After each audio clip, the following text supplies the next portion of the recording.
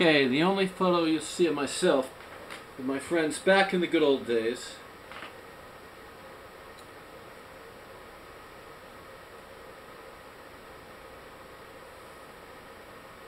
John Kleis, ace mechanic, repaired so many Jaguar XKEs and sent them on the road, restored so many, chromed them, made magnificent cars, better than what they originally came to be.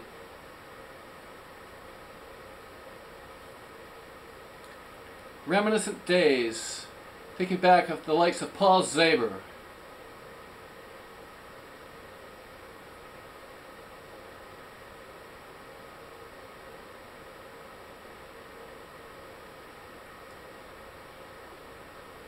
There's Sandy, my brother.